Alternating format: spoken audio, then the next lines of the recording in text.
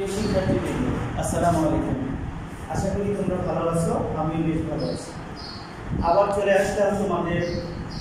আরেকটি ক্লাস নিতে যেটা আমরা ক্লাসে শ্রেণির অনুশীলনী আটের গড় বিষয়টা আমরা আলোচনা করেছিলাম। আজকে আমরা ওই অধ্যায়েরই, অর্থাৎ অনুশীলনী আটের চার নম্বর একটা অঙ্ক, লিখিত অঙ্ক, সেই অঙ্কটার সমাধান করব। আমরা প্রথমে অঙ্কটা একটু পড়ে নিব। যারা আমরা গড় নির্ণয় করতে পারি, তাদের জন্য অঙ্কটা খুবই সহজ এবং একই রকম ভাবে করলে আমরা ফলাফল পাবো। তো অঙ্কটা একটু পড়ি, দেখো। এখানে দুজনের নাম আছে সোহেল এবং হামিদা। সোহেল এবং হামিদা, তারা বাংলা, ইংরেজি, গণিত, বিজ্ঞান, বাংলাদেশ ও বিশ্ব পরিচয়। এই পাঁচটি বিষয়ে বিভিন্ন বিষয়ে এই বিষয়গুলোতে তারা নাম্বার পেয়েছে। আমাদের প্রশ্ন করেছে, প্রত্যেকের গড় নাম্বার নির্ণয় করো। এবং দুজনের মধ্যে কে পরীক্ষায় ভালো করেছে, তা বের করো। দুইটা প্রশ্ন। প্রথম প্রশ্ন হচ্ছে, দুজনেরই গড় নাম্বার নির্ণয় করতে হবে এবং এই দুজনের মধ্যে পরীক্ষায় কে ভালো করেছে, সেটা বের করতে হবে। তো আমাদের গড় নির্ণয় করা করো এটা আমরা এক নম্বরে সমাধান করেছিলাম। তো একইভাবে আমরা কিন্তু ওইভাবেই গড়গুলো ওদের দুজনের, অর্থাৎ সোহেল এবং হামিদার গড়টা আমরা বের করতে পারি তো আসলে প্রথমেই আমরা সোহেলের গড় নাম্বারটা বের করব। তো আগে জানি যে গড় নির্ণয়ের একটা সূত্র আছে। যে সূত্রটা আমরা প্রথম যে, এর আগের যে ক্লাসটা ছিল, সেই ক্লাসে আমরা আলোচনা করেছিলাম। গড় নির্ণয়ের সূত্র হচ্ছে গড় সমান রাশিগুলোর যোগফল ভাগ রাশিগুলোর সংখ্যা। তো আমরা প্রথমে সমাধান করার সুবিধার্থে ওই সূত্রটি ব্যবহার করব। শুধু নামটাকে আমরা যার গড় নাম্বার বের করব, সেই নামটাকে আমরা ব্যবহার করব। তো আমরা সমাধানে যাচ্ছি।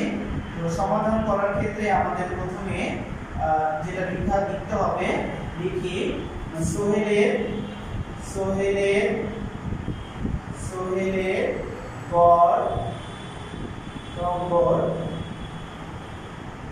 নির্ণয় করি সোহেলের গড় নম্বর নির্ণয় করি তো সোহেলের গড় নম্বর নির্ণয় করতে গেলে আমাদের বের করতে হবে প্রথমে সোহেলের মোট নম্বরটা কত? অর্থাৎ রাশিগুলোর যোগফলটা কত? তো আমরা রাশিগুলোর যোগফল কত এটাও লিখতে পারি।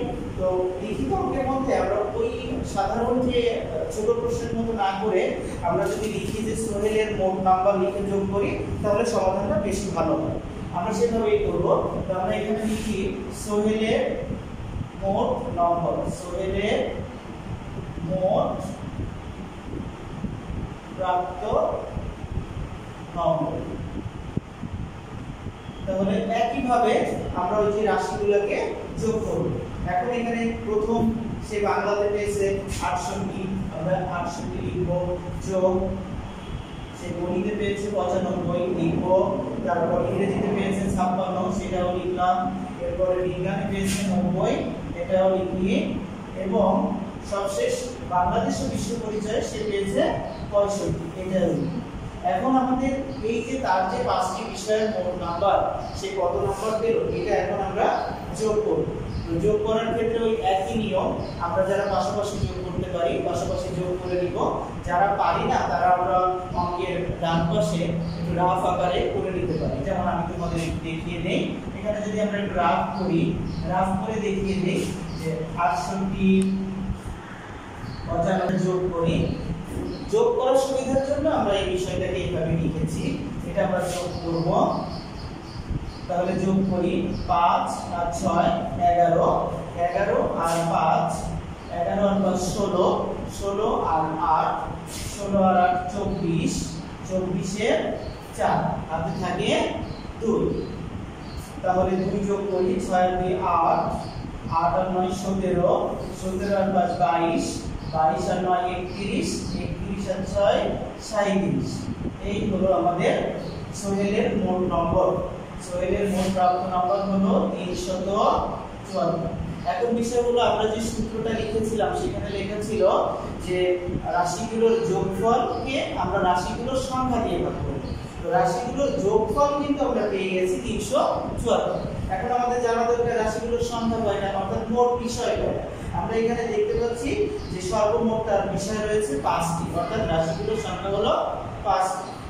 তাহলে আমরা এখানে লিখতে পারি মোট বিষয় সমান পাঁচটি।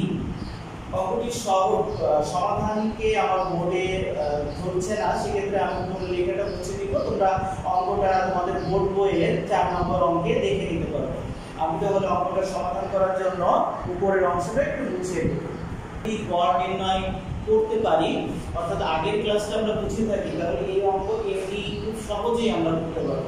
তাহলে আমাদের এখন বের করতে হবে সোহেলের গড় নাম্বার সুতরাং আমরা লিখলাম সুতরাং সোহেলের গড় সোহেলের গড়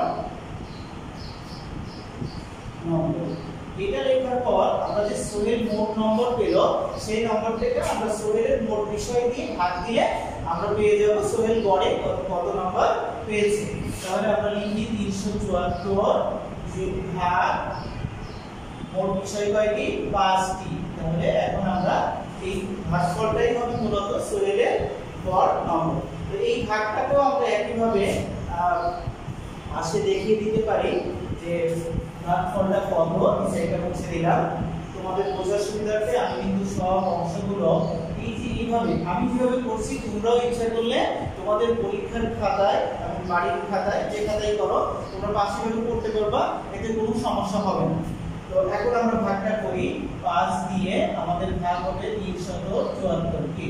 এই তিনশো চুয়াত্তরকে আমরা পাঁচ দিয়ে ভাগ করি স্বাভাবিক ভাগের নিয়মে পাঁচ দিয়ে পাঁচ তিনের মধ্যে যাবে না সাঁত্রিশের মধ্যে যাবে কয়বার যাবে? পাঁচ সাতা পঁয়ত্রিশ। তাহলে আমরা সাতবার দিতে পারি পাঁচ সাতা পঁয়ত্রিশ।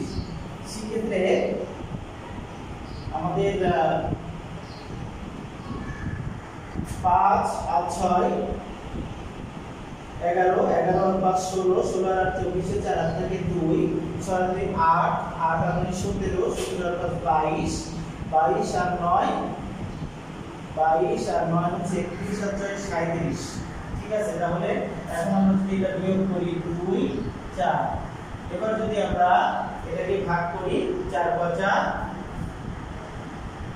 বিশ বিয়োগ করলে চার।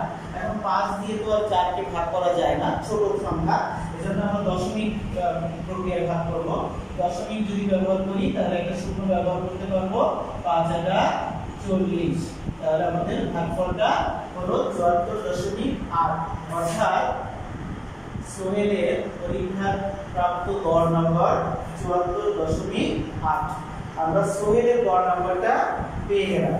এখন এই একইভাবে আমরা হামিদার গড় নাম্বারটাও বের করব।